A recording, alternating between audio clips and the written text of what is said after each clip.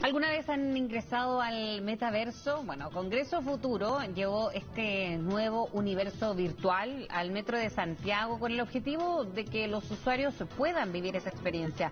Se trata de una de las primeras intervenciones del evento que arranca este 16 de enero y Natalia Muñoz nos va a contar. Los saludo desde el metaverso de Congreso Futuro, donde podrán adentrarse dentro del cuerpo humano o incluso visitar la Plaza de Armas de Temuco hace 100 años atrás. Es la primera intervención que tiene Congreso Futuro 2023 y que ustedes podrán aprovecharla de forma gratuita aquí en la estación Baquedano. Acá hay una célula que es mi favorita, muy entretenido y muy educativo. Está súper bueno. Me imagino un juego de PlayStation acá sería otra cosa.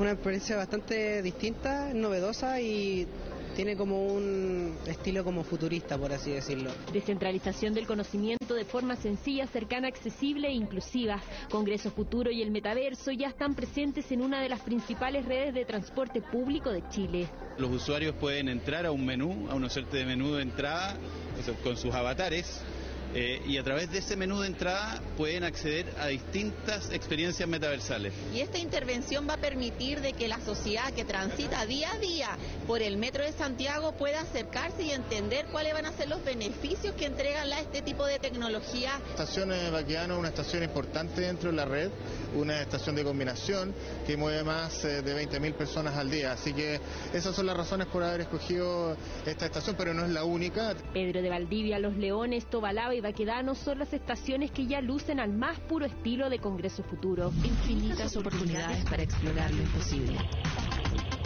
sin límite real. Se titula la duodécima versión del encuentro de divulgación científica más importante de Latinoamérica. Dos premios Nobel, más de 120 científicos, académicos y activistas serán los encargados de compartir el conocimiento de primer nivel de forma completamente gratuita y en las 16 regiones del país. Tenemos un equipo muy grande de científicos y científicas, abogados, abogadas, que están trabajando en la primera regulación mundial de metaverso. Chile va a ser pionero en el mundo con todas las universidades. Podemos tener un espacio de conversación entre las distintas generaciones. Congreso Futuro no es solo un espacio donde se habla de ciencia.